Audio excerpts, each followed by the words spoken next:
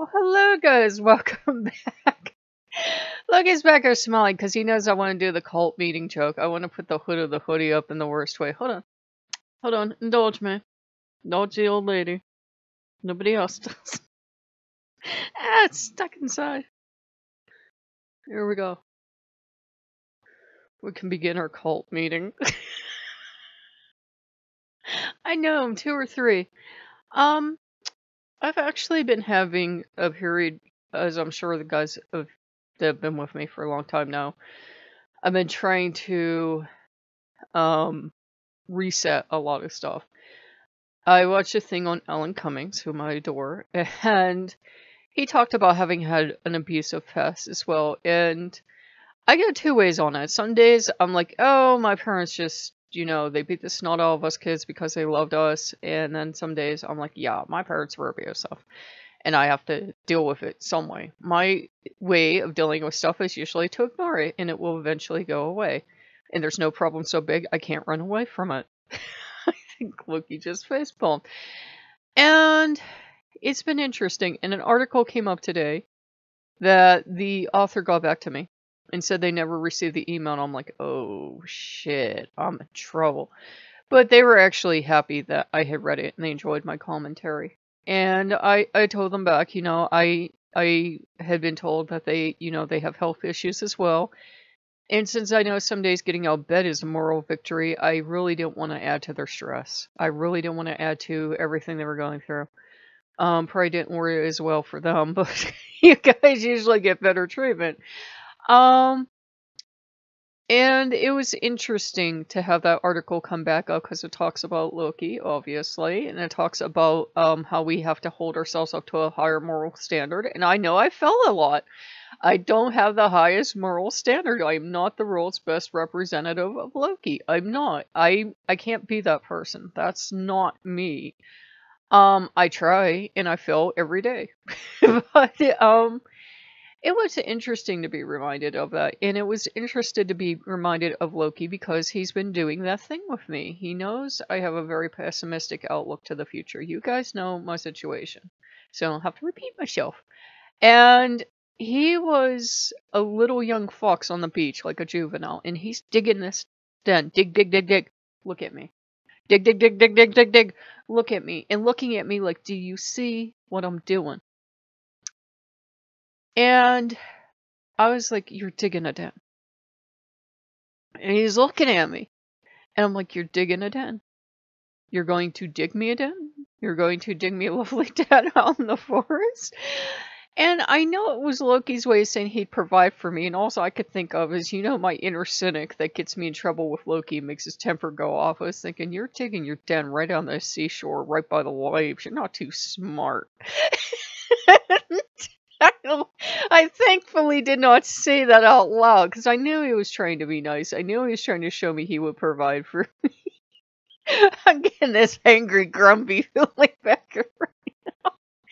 Um, unfortunately, I tend to take after Loki's worst traits. I'm a total smartass, and I will say the first thing that comes to my mind because he used to help me as a child, so he groomed me, and he loves it until it turns on him.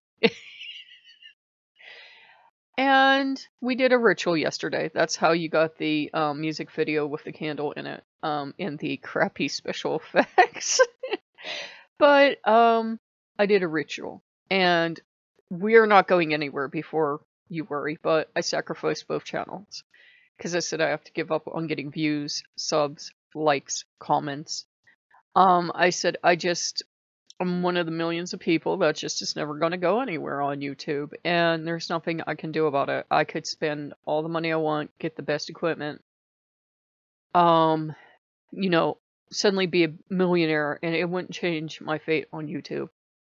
So, um, that's the thing. I had to kind of come to terms with that. I even watched a thing yesterday about how to run a successful video game channel, and I know it doesn't help that I, I speak my mind. I know it doesn't help at all.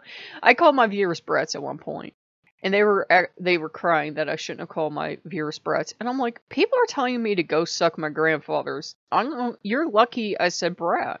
I said, You're lucky you're not adults. I would have really told you off. And I that was one thing I didn't like about that channel. I had to keep counting to ten and keep holding my tongue.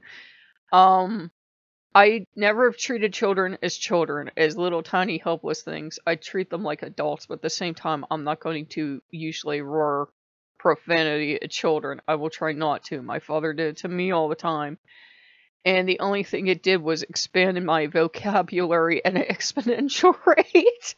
um, you know, it's I try not to be daddy the second. I try and I fail, which is why I won't have my own kids. I'm like, yeah, I would be daddy the second. My brother had many a child and just abandoned them all. And I'm like, I would rather have the solution of not having them. If there are children waiting to beat the shit out of mommy in the afterlife, so be it. But um yeah, we just had to deal with that. I had to deal with, you know, getting first perspective. So after I sacrificed everything, and I'd ask for some stuff in return, because that's how magic works, um, I played the pinball for this channel, because I'm like, you know what, why not? I'm in a better mood. The pinball, some reason, it relaxed me, and it made me more positive for the first time in a long time. Um, I'm totally burnt out on horror games. I try to play this one game again to see the ending and I could only get so far and I'm like I'm just totally burnt out. I can't do this anymore. I was ready to break down in tears. I was I was scared. Yeah, you're supposed to be scared in a video game, but it wasn't fun scared. It was scared scared and I was like I can't do this anymore. So, I won't be playing those for a while. So I'm to be playing Bendy on the other channel.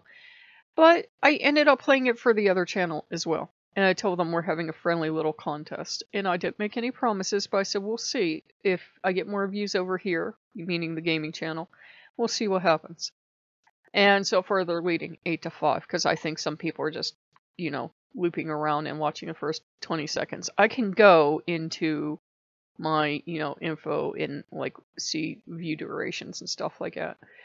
Um, so I just kind of have to let go and it's hard for me to let go. My grandparents grew up in the Depression.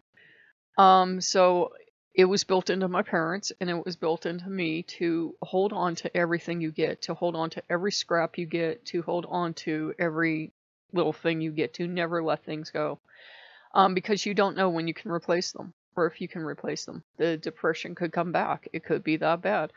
Um, so yeah, I have that problem of letting stuff go. You remember what a fiasco it was for Loki to try to get the scarecrows and the jack o' lanterns off me. They had to go. I didn't really have the room. Da da da.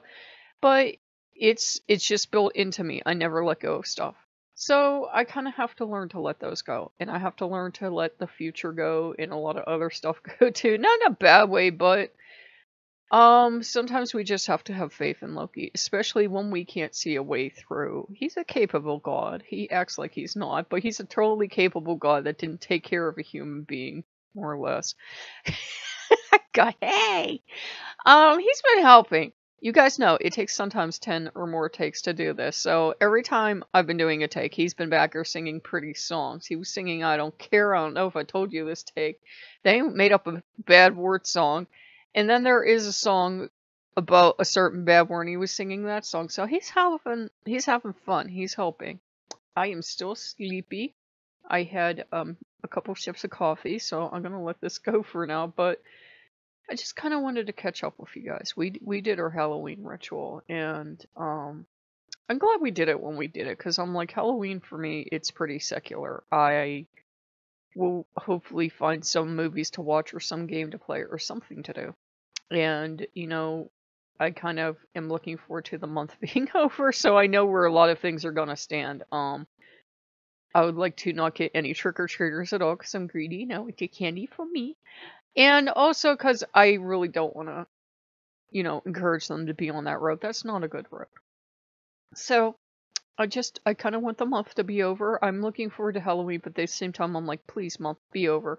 So I'll be kind of doubly happy on Halloween because it's the end of the month. So I will be happy and things will get easier for me. I'm hoping he does not come back next week. It's been pretty cold. It doesn't look like the grass is growing at all. I'm like, I understand he's in a business, has to provide for himself and his family and his workers and that, but I'm struggling here. I would really hope he doesn't come back. So wish for cold weather. So if you guys like what you see, like, comment, subscribe, and I will see you later. Bye bye.